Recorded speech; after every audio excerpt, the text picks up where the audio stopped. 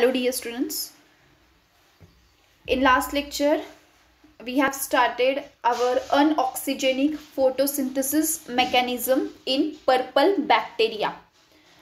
We have already discussed how the mechanism or how the electrons flow from the reaction center P870 and it is a cyclic process. Okay, so we have already discussed that um, P870 it is the reaction center. Light is being transferred to this reaction center. It get excited. Then uh, from this excited state that is strong electron donor it can donate the electron and here hydrogen sulfide act as a electron donor. It is the strong electron donor so from this excited state, electron get transferred to bacteriopheophytin, bacteriochlorophyll. These are the light harvesting molecules. From this, electrons are transferred to quinone molecules like quinone A, quinone B and quinone pool. Here electrons are being stored and then uh, the stored electrons are transferred to cytochrome bc1 from cytochrome bc1 electron get transferred to cytochrome c2 and again back to the ground state p870 okay reaction center. Uh, we have also discussed the point that uh, as this uh, as there is the flow of electron uh, this uh, generates the energy and it pumps the H plus ion. It pumps the hydrogen ion from inside the cell to the outside the cell. And there is the high density gradient at the outside of the cell which will which will or this proton will come down back to the cell which will help to produce the ATP okay so that was overall concept and it is the cyclic process. So this proton motive force it helps for the generation of ATP and NADPH molecules. Now here in this lecture we are going to see the term called as the reverse electron flow or it is no, also known as the autotrophy in purple bacteria. Okay now here what happened uh, there is electron uh, uh, there is the transfer of electrons okay? And uh, the concept i have told you about the reduction potential okay? The positive and negative value what that indicate in this scale of reduction potential which is measured in the volts okay? So here negative value it indicates that it is the strong electron donor. So as it as it donates the electron it comes to the it comes to the positive value okay as it comes to the positive value means what? There is insufficiency of electron. It becomes insufficient to donate the electron. Okay? And that insufficiency uh, it may result in the lack of NADH molecule. Okay? It may uh, we lose the concentration of NADH okay? So this electron flow as it reaches to the positive value means what it indicates that that particular molecule is insufficient in donating the electron वो अभी electron donate नहीं कर सकता okay and here the quinone pool or the quinone molecules these are the uh, center molecule okay the E0 it will see the E0 for the quinone molecules for the quinone pool if we'll talk about the quinone pool it is weak okay it is weak electron donor as well as a weak electron acceptor because it is about the zero value. You will see the quinone pool it is about the zero value. Means what? It is too weak to donate the electron and too weak to accept the electron. Okay so what is the case here? The reduction potential of this quinone pool is about 0 volt okay and is insufficiently electronegative it is insufficiently electronegative to reduce NAD plus.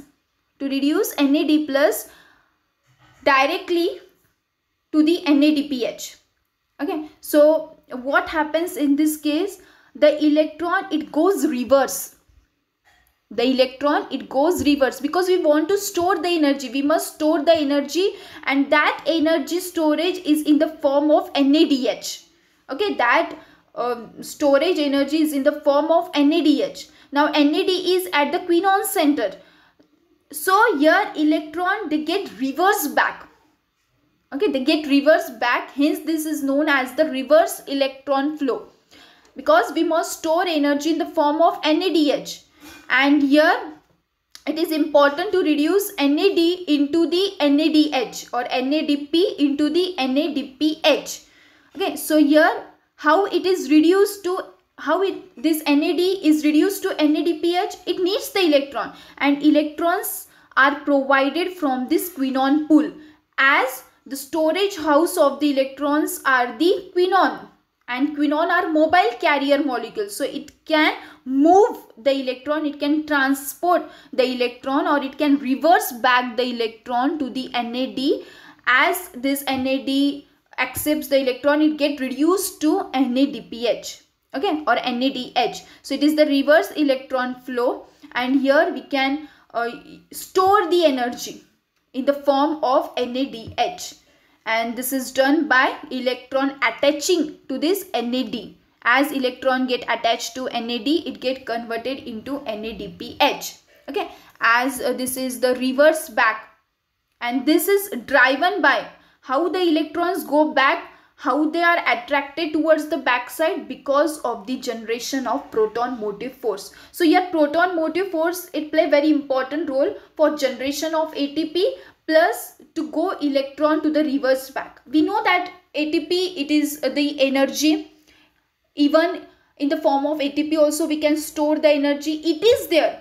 But here NAD as I told that this overall mechanism is based on the reduction potential. Okay is based on the reduction potential. And NAD molecule is best example of reduction potential. So we store the energy in the form of NADH and hence electron reverse back. Hence, electron reverse back with the or through this proton motive force to the NAD plus and NAD plus get reduced to NADH or NADP plus get reduced to NADPH. Just there is addition of the phosphate and nothing else. Okay. So that is the simple concept and uh, why this happen because what is the main aim what is the target to flow electron back the main target is that we want to store energy in the form of NADH. We want to store energy in the form of NADH. So electrons reverse back from quinone pool. Why from quinone pool? Because quinone pool is the store of the storage of the electron. It is uh, in the quinone pool there is the uh, storage of electrons. Okay, so from quinone pool it reverts back to the NAD plus and converts into NADH. That is the simple mechanism. And why it happens?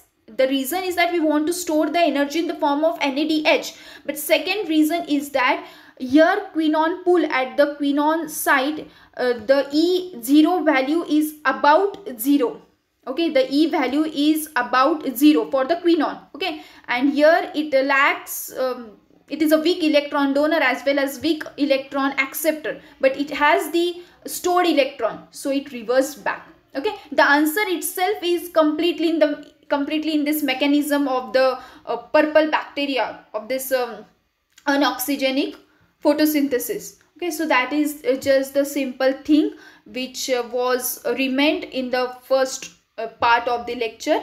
Um, and it is not at all confusing just you have to keep in mind if you know the complete cycle it will be very easy to understand this reverse electron flow which is also known as autotrophy in purple bacteria.